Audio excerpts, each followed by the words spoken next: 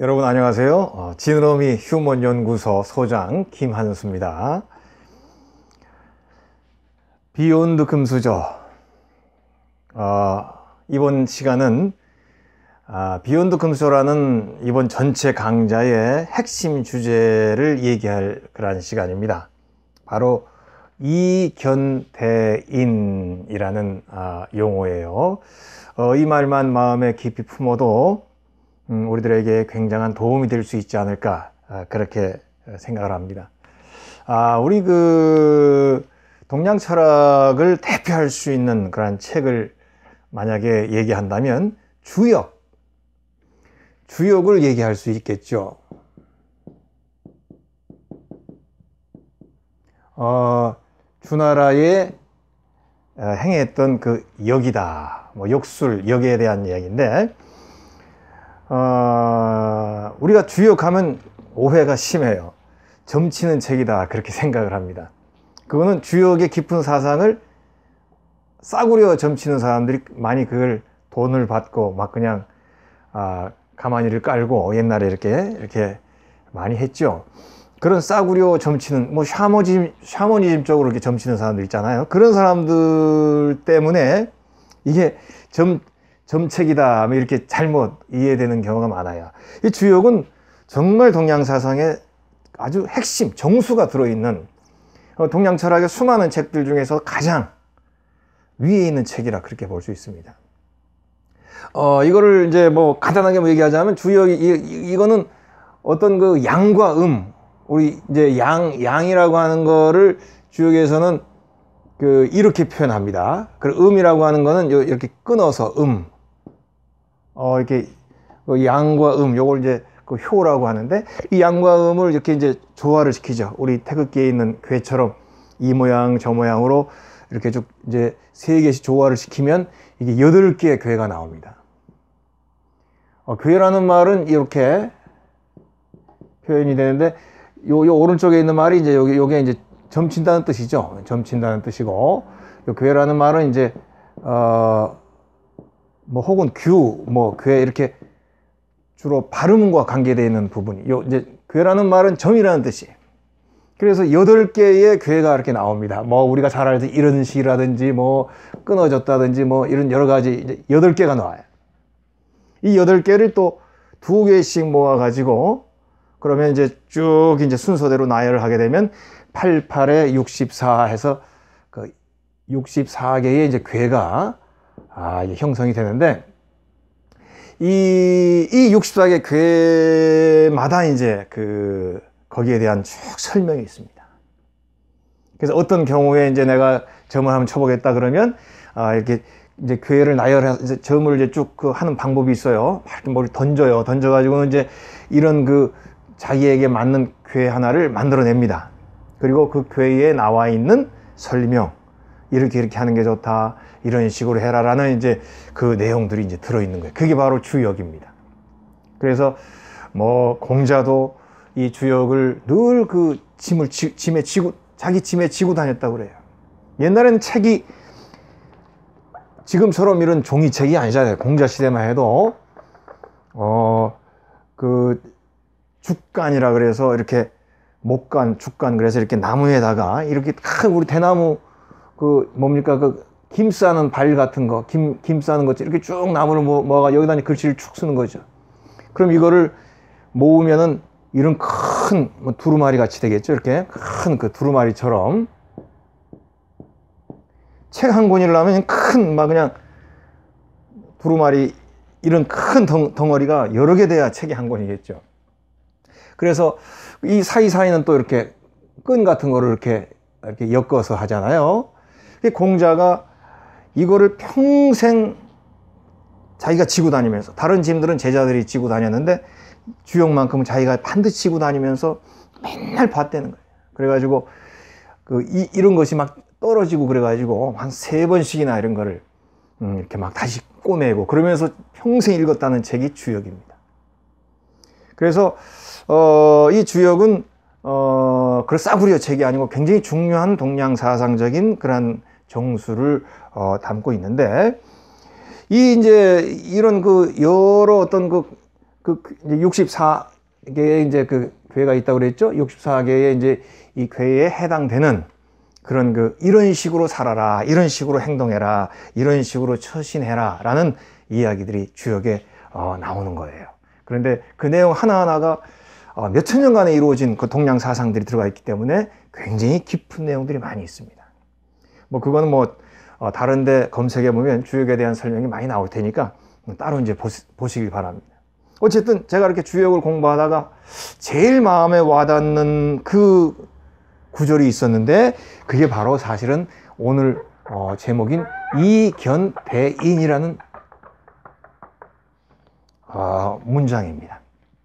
그러니까 이렇게 해라 저렇게 해라 그런 충고들이 많이 나오는데 어떤 교회에 보면 이견대인 대인을 만나는 것이 이로울 것이다. 이런 그 어, 이야기가 여러 번 나옵니다. 뭐 다른 것도 있어요. 한, 한 세 가지 정도가 이제 그 반복되는 그 내용들이 있습니다.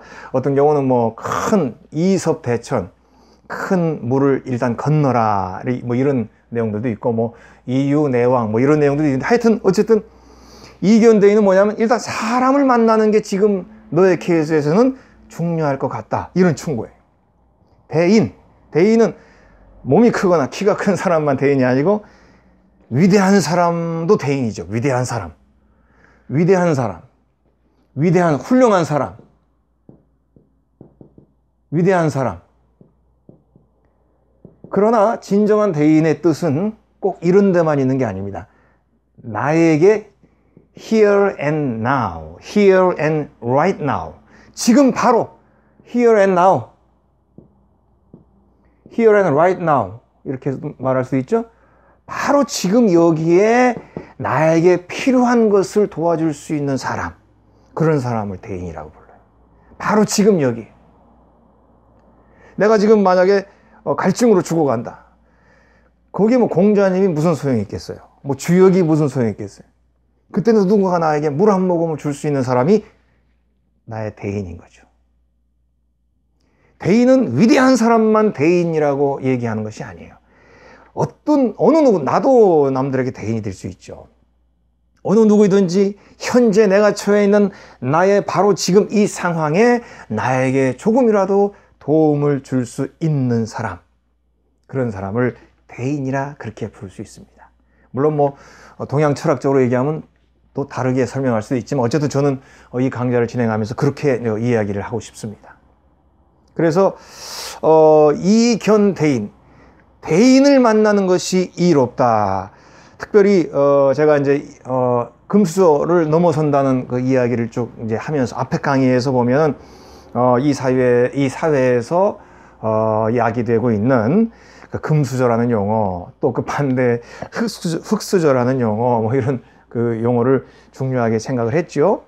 그래서 앞에서도 그런 얘기 했습니다. 금수저. 솔직히 우리가 싫어하는 단어이기도 하지만 사실 중요하고 또 금수저가 있으면 좋은 건 맞지요. 그렇지만 대부분의 우리는 금수저를 갖추기가 아, 쉽지 않죠. 그런 우리들이 그러면 나는 금수저가 없어. 갖춘 게 없어. 그러면 내 인생을 포기하고 또 나와 관계없다. 뭐 이렇게 생각하고는 나는 그냥 더 이상 노력도 안 할 거야. 이런다면 결국 모든 책임은 나에게 들어오지 않겠어요? 또 뭐 제일 사람들이 핑계 대는 게 뭡니까? 아이고 내가 뭐 사실 부모만 잘 만났어도 거꾸로 내가 그 인간만 안 만났어도 이렇게 이런 얘기 많이 하죠. 그렇지만 어쨌든 마지막 최후의 내 인생의 책임자는 나 자신인 것입니다. 마지막으로 내 인생의 결제를 도장 찍을 수 있는 사람, 옥쇠, 내 인생이라고 하는 나라의 옥쇠를 찍을 수 있는 사람은 나 자신인 거예요. 여러분, 여러분들 자신, 우리 삶, 나 자신을, 나의 삶을 나라라고 생각하세요. 나는 나라님이라고 생각하세요. 나는 나의 삶에 옥쇠를 쥐고 사는 사람이라. 옥쇠가 뭐예요? 일국의 흥망성쇠를 좌우할 수 있는 책임의 상징이 옥쇠 아닙니까? 금수저가 없더라도 나는 나의 삶을 살아야 되는 것이죠. 내가 흑수저를 하더라도 또 금수저 강의 어, 시작에도 얘기했지만 뭐 청년들만 이런 이제 위해서 제가 이 강좌를 하는 것이 아닙니다. 어른들, 장년들 아니면 노년에 이른 사람까지도 금수저나 흙수저라는 단어에 에, 얼매여서는 안 되는 것이죠. 끊임없이 나의 삶을 개척해 나가는 이가 젊은 것이. 여러분 노인이 시간이 잘 간다 그러죠. 아이고 시간이 뭐처럼 빨리 가요? 쏜살처럼 가네. 뭐, 어, 뭐, 뭐 가시를 들고 막아도 그냥 백발이 저 먼저 들어와 뭐 어, 문간 안에 들어왔다 그런 옛날 어, 시도 있죠. 그렇지만 발전하고 노력하는 사람은 시간이 빨리 안 가요. 그거를 알아야 돼요. 노인이 왜 시간이 안 가, 빨리 갑니까? 눈 뜨고 막, 물론 불교적인 참선으로 멍 때리기라는 게 있습니다. 그거는 멍하게 있는 게 아니에요. 멍하게 있으면서 내면 깊은 자리에서 어, 나 자아를 찾는 것이죠. 그렇지만 노인들은 어때요? 멍하게 앉아가지고 밥 주는 거 먹고 이렇게 앉아 테레비 보고 낮잠 한 번 자고 하루 휙 지나가죠. 한 달 휙 지나갑니다. 그러나 일하는 노인, 활동하는 노인, 끊임없이 자기를 개발하는 노인은 시간이 더뎌 갑니다. 이거는 물리학적으로도 증명이 가능한 거예요. 우리가 생각하면 시간은 똑같은 것 같죠. 그러나 시간을 보내는 방법에 따라서 시간의 길이는 개인차가 어마어마합니다. 그래서 노인들에게도 이런 이견대인의 자세, 또 금수저를 넘어서는 자세, 그리고 추구하고 노력하고 되어가는 변화의 자세가 필요한 것이에요. 그래서 이 강좌는 어, 청년들뿐 아니라 학생들뿐 아니라 모든 이들에게 함께 나눌 수 있는 내용이라 저는 이제 그렇게 생각을 합니다. 물론 이제 부모 잘 만나는 게 제일 중요하죠. 어, 나이 들어서도 내가 부모를 잘 만났으면 재산이 많이 남아 있으니까 얼마나 좋겠어요. 그 중요한 거 분명히 인정했어요. 우리 앞에서도 인정했지요. 그러나 부모보다도 부모 잘 만나는 것보다도 훨씬 더 나의 삶의 결정적인 것 아니면 부모 잘 만나는 것보다도 내 인생에 있어서 우리 처음에 얘기했죠. 정말로 진실로 내 인생에 있어서 치명적인 것. 무엇인가? 저는 대인이라고 얘기하고 싶습니다. 대인. 금수저보다도 더 치명적이고 중요하고 결정적인 것은 내 인생에서 대인을 만나는 거예요. 대인은 위대한 사람만 대인이 아니라고 했습니다. 때에 따라 순간순간에 나에게 필요한 존재가 대인인데 그런 대인을 만날 수 있는 것이 인생의 가장 중요한 대인은 영화에 나오는 무술 영화에 나오는 그 주인공이 그냥 뭐 절벽에 떨어져서 딱 정신을 잃었는데 어느 도사가 그 주인공을 딱 구해다가 약초를 구해와가지고 딱 주인공을 살리죠. 그런 도사만 대인이 아닙니다.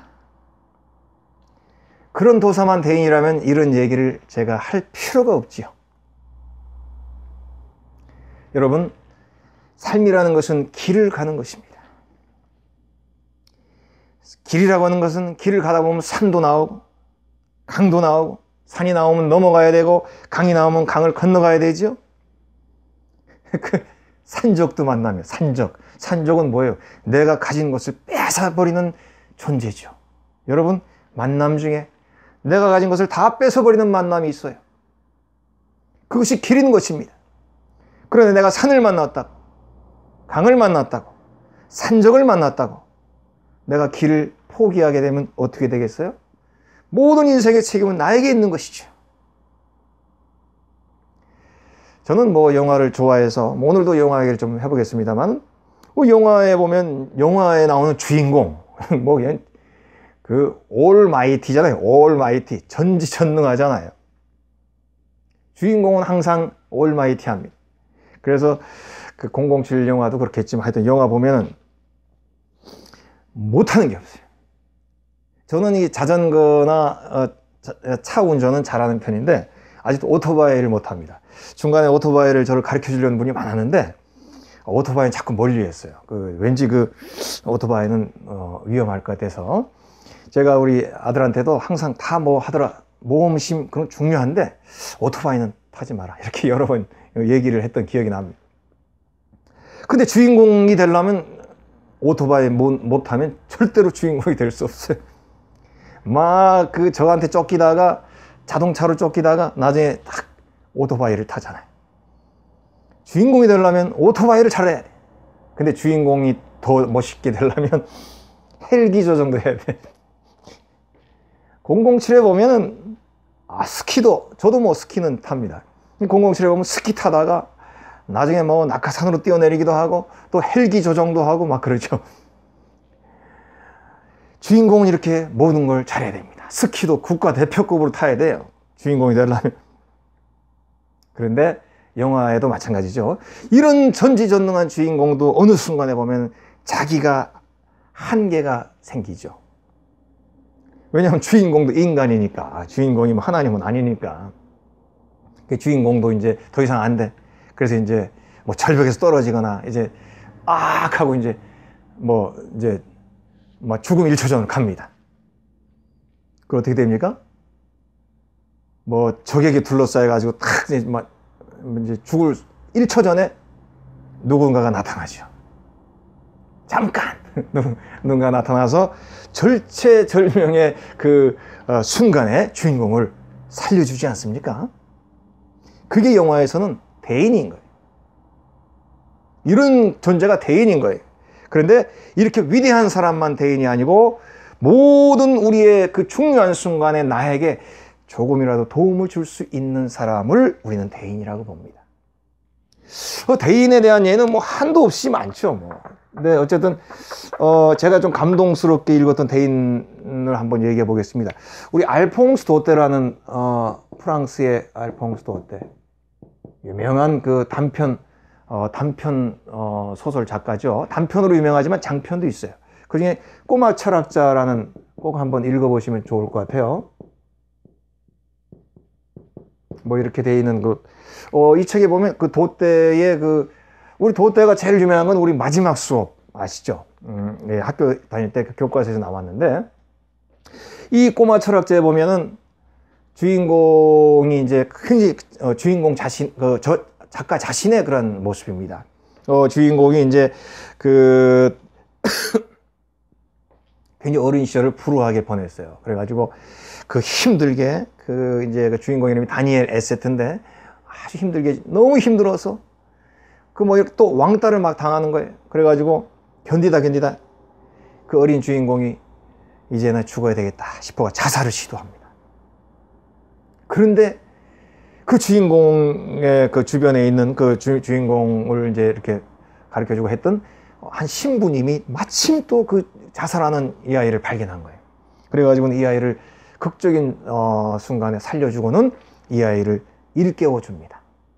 그래서 그 신부님의 도움으로 이 에세트는 어, 그 위기를 이겨내면서 힘을 얻고 또 중간에 또 이제 다시 힘을 얻고 이제 파리로 돌아가가지고 이제 파리로 가서 어, 새로운 삶을 개척하는데 거기에서도 어떤 형을 어, 형그 형을 통해서 중요할 때 힘을 받습니다.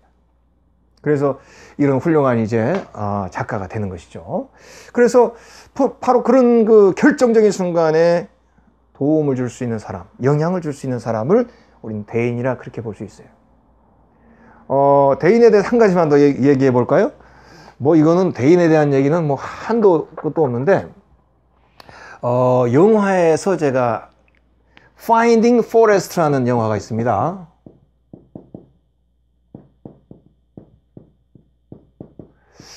이게 이제 어, 몇 년도 영화냐면 2001년도 영화네. 그쇼 코네리가 주연한 영화입니다. 이런 영화는 꼭 보세요. 정말 영화는 이런 걸 봐야 돼. 어, 여기에는 이제 그, 또, 그, 실제적인 인물이 약간 그 응용이 된 것이에요. 그 실제적인 인물이 J.D. 셀린저라고 하는 유명한 J.D. 셀린저, 유명한 작가죠. 어, 이 사람이 호밀바테 파수꾼이라고 아마 유명할 거예요. 호밀바테 파수꾼.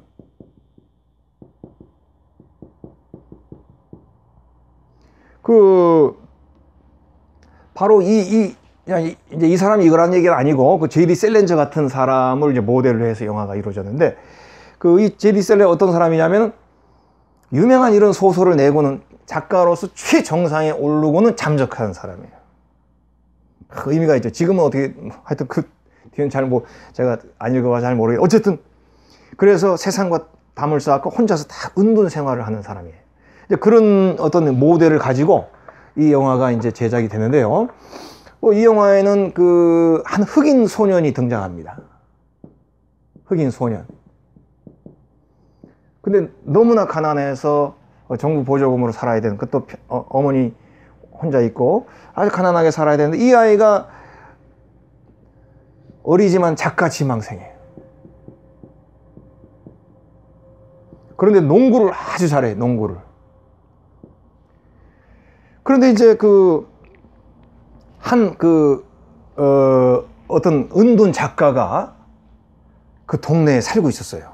이제 아까 얘기하는 그 셀린저 같은 작가죠. 유명한, 그래서 자기가 이전에 히트한 소설 뭐 그런 것만으로도 지금 충분히 인세가 남아 도는 이제 그래서 그걸로 이제 혼자서 운동 생활을 그 운동 생활을 하게 되면 자기에게는 어떤 깊은 생각이 있었겠죠. 세상을 탁 던지고 그래서 뭐 이제 뭐 어, 자기랑 몰래 이제 연락하는 그 비서 같은 사람이 이제 먹을 것 같은 가져, 가져오고 돈도 가져오고 딱 운동 생활하는데 이 동네에 이제 그 이 작가가 은둔 작가가 사는 거예요. 그런데 이 흑인 소녀는 작가 지망생이라 자기 나름대로 이렇게 노트에다 글을 씁니다. 이제 한번 써보고 뭐, 뭐 이렇게 하는 거를 항상 가방에 이렇게 어, 넣고 다니는데 농구를 잘해. 그 어느 날 이제 이 거리에서 친구들하고 농구 우리처럼 길거리 농구 있잖아요. 농구 내기 농구를 한 거예요. 그래가지고는 이제 아, 뭐 하여튼 어떻게 하다가 어, 자, 뭐, 이 사람, 이 은둔 작가의 집에 들어갔다 나오기, 뭐 그런 이제 그 그런 그 그런 일을 내기를 하는 거예요. 그래가지고 이제 이제 이 흑인 소년이 그 집에 몰래 들어갔다 나오기로 이제 된 거예요. 우리 옛날에 그런 거 많이 하죠. 어디 무서운 집, 뭐 이상한 집 있으면 거기 갔다 오기, 뭐 이런 어, 담력 테스트 같은 거 하잖아요. 그래가지고 이제 어, 이 사람이 잠시 집에 없는 틈을 타가지고 어, 이 흑인 소년이 몰래 그 집에 싹 들어가서 이제 한번 쫙 둘러보고 나면 뭐 사람 사는 집이죠. 근데 하여튼 자기들이 이렇게 농구하면서 봤을 때는 저 집이 이상한 집인 거예요. 가끔 이 사람이 창문을 통해서 애들 농구하는 이렇게 보다가 문을 닫고 근데 왠지 그 음산한 거예요.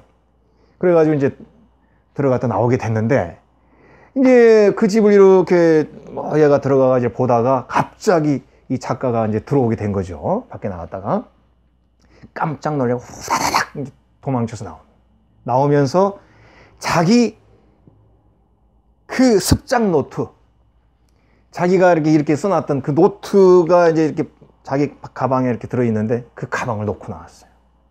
후다닥 나왔으니. 나오게 나왔는데 불안하죠. 아, 이 노트를 찾으러 가야 되는데 그 집에 들어가려니 참 혼날 것 같고. 근데 어느 날 이렇게 그 동네 주변에 놀다 보니까 자기 가방이 아, 밖에 탁 나와 있는 거예요. 그래서 이제 가방을 갖고 이제 어, 왔죠. 그 가방을 갖고 와가지고 이제 가방에 내가 쓰던 습작 노트 잘 있나 이렇게 보니까 어, 잘 있는 거예요. 아 근데 이렇게 노트를 둘러보니까 거기에 빨간 볼펜으로 아, 코멘트가 써 있었어요. 아, 저 이게 참 감동적인 장면이에요. 아 이런 그 잘 쓴 그 문장에는 줄을 딱 치고 아 잘했다 이렇게 하고 또 조금 부족한 부분은 뭐 이런 부분으로 하는 게 낫지 않을까? 뭐 이런 그, 와, 이거를 보고는 아이는 감동하죠. 그리고 이 은둔 작가와 인연이 돼서 이 작가에게 문학 수업을 받게 됩니다. 그래서 훌륭한 작가가 되죠. 대인을 만난 거예요. 흑인 소년이. 자질은 있는데 내 자질을 키워줄 수 있는 사람을 만나지 못했죠. 환경이 열악하니까 정말로 자질은 있는데 발휘를 못했는데 어느 날 이런 대인을 만난 거예요. 얼마나 좋은 일입니까? 그러나 이 강좌에서는 이런 대인을 얘기하는 것은 아닙니다. 이런 대인을 만나는 것도 좋은 일이죠. 또 살다 보면 만날 수 있지 않을까 그렇게 생각을 합니다. 그렇지만 이런 대인은 어, 소설에나 영화에나 나오는 것입니다. 그런데 한 가지 더 있어요. 이 어린아이의 입장에서 이 작가를 만났으니까 대인이지만 사실은 이 작가의 입장에서도 흑인 소년이 자기 자신의 대인이 될 수도 있었던 것입니다. 그렇죠? 이 아이가 그 스승에게, 이 사람에게 도움만 받은 것이 아니죠. 이 작가는 뭡니까? 자기가 최고의 그 문화의 경제에 이르렀지만 자기 나름대로의 어떤 그 고민과 갈등과 사색과 자기 자신의 내면에 어떤 깊은 어떤 어, 느낌이 어떤 저 고민이 있었을 것 아니겠어요? 그런데 이 어린아이 좋은 자질을 가진 어린아이를 가르치고 그 어린아이를 보면서 이 작가도 사실은 중요한 것을 깨닫게 되는 거예요. 사실은 양쪽 간에 쌍방 간에 여러분 세상 어느 세상의 관계에서요 우리가 관계라는 말 이제 커뮤니케이션이라고 표현할 수 있어요. 이제 이렇게 오고 가고 하니까 그런데 어, 관계라고 하는 것은 관계라고 하는 것은 절대로 일방적인 관계가 없습니다. 원웨이 우리가 원웨이 티켓 그러죠? 원웨이 원웨이 커뮤니케이션은 없어요. 물론 뭐 수업할 때는 one way 커뮤니케이션이 있죠. 그냥 팍 저처럼 이렇게 방송에서 제 할 말만 딱 하고 이런 건 one way 커뮤니케이션이지만 관계에 있어서는 절대로 one way가 없습니다. 관계는 반드시 two way죠. 쌍방 간의 소통과 쌍방 간의 관계로 이루어집니다. 우리가 어, 이타적으로 행동한다. 전에도 얘기했죠? 이타적 행동. 이타적인 어떤 행동이나 마음. 누구를 도와주지 않습니까? 그, 이거 절대로 원웨이가 아니에요. 이타적인 행동이 원웨이라면은 이타적인 행동을 하는 사람은 이 지구상에 없어요. 그건 좀 비정상적인 사람이에요. 연탄을 들고 산동네 가서 돌렸어요. 달동네 가서.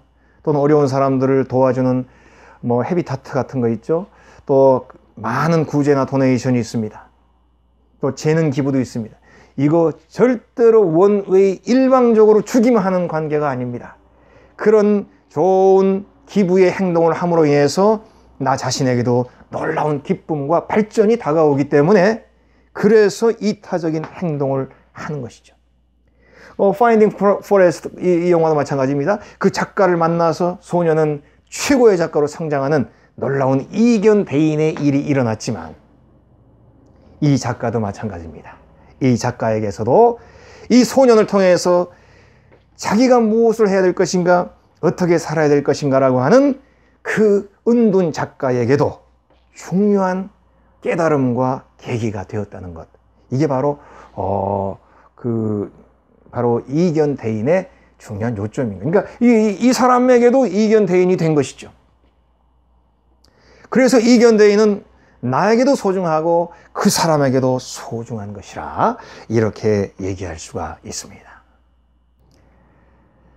여러분, 어, 대인이라고 할 때에 대인은 어, 영화에서만 얘기하는 이런 극적인 대인만을 대인이라고 하는 것이 아닙니다. 뭐 어, 금방 영화에 나왔던 그런 대인만을 대인이라고 한다면 제가 결코 이런 얘기를 하지 않습니다. 어, 누구든지 나에게 의미로 다가올 수 있는 사람, 그 순간에 그가 바로 대인이에요. 인생이라는 것은요, 만남에 좌우되는 것입니다. 성공도, 실패도, 넘어짐도 만남에서 생기는 거예요. 여러분 생각해 보세요. 나 혼자 사는데 성공할 일이 뭐가 있고, 나 혼자 사는데 실패할 일이 뭐가 있고, 아무도 안 만나고 사는데 상처받을 일이 뭐가 있어요? 아무도 안 만나고 사는데 내가 잘 될 일이 뭐가 있겠 만나면서 성공도 하고 만나면서 실패도 하고 만나면서 좌절도 하죠. 그래서 누구를 만나느냐? 그건 인생의 성공과 실패를 좌우하는 것이 여러 가지 만남이 있죠. 우리가 늘 참 선망하는 부모를 어떻게 만나느냐. 금수저 부모를 만나느냐. 이것도 인생에서 중요한 일 중에 하나지요. 곰이나 호랑이 지난번에 얘기했습니다. 곰 같은 이런 그 맹수의 최상위급 얘네들은 그냥 금수저인 거예요.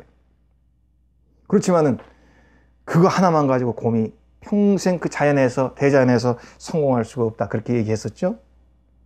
일정한 나이가 넘으면 대자연에서 스스로 깨우치고 스스로 배우면서 견뎌내고 적응하고 살아남아야 되는 것이.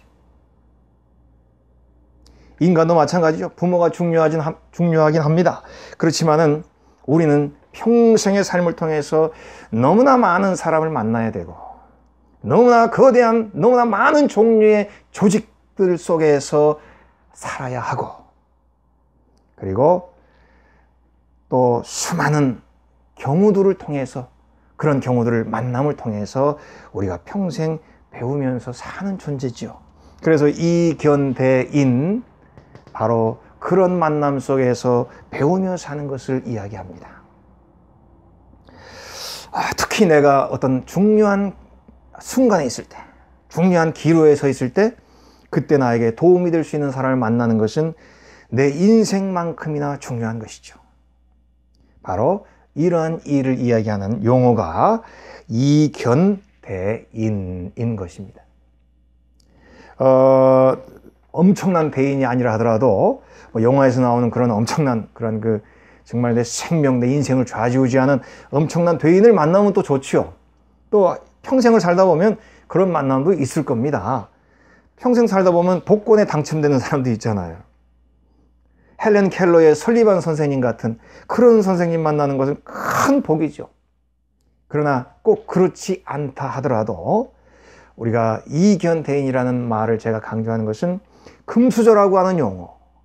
정말 부모를 타고나는 것이 너무나 중요하다고 하는 그 용어, 금수저를 부러워하는 모습, 금수저를 싫어하고 어, 증오하는 모습, 이런 쓸데없는 금수저 논쟁에서 벗어나서 우리 모든 사람들이 나에게 필요한 그 시점에 대인을 만날 수 있는 금수저하고는 비교할 수 없는 수많은 종류의 대인을 만날 수 있는 그래서 우리에게 유익한 여러 가지 종류의 놀라운 만남을 할 수 있는 바로 그런 대인 만나는 삶 그것을 저는 여러분들에게 권하고 싶은 그래서 이 강좌를 어, 진행하는 것입니다. 어, 한 가지 더 추가하자면요. 이견대인이라는 것은 결코 젊은 사람들을 위한 용어만이 아니라는 것이죠. 저를 포함한 모든 사람들도 마찬가지, 노인까지도 모두에게 평생 필요한 것이 이견대인이라는 용어이고요. 이것을 위해서 내가 실천하고 노력하는 자세가 우리의 한 번 사는 삶을 훨씬 더 윤택하고 의미 있게 만들어주지 않을까 아, 저는 그렇게 생각합니다. 어, 다음 강의부터 우리가 이런 대인들을 어, 우리의 삶에서 어떻게 만날 수 있는, 어떻게 그런 사람들을 통해서 내가 배울 수 있는가, 이런 것들을 구체적으로 이야기를 하려고 합니다.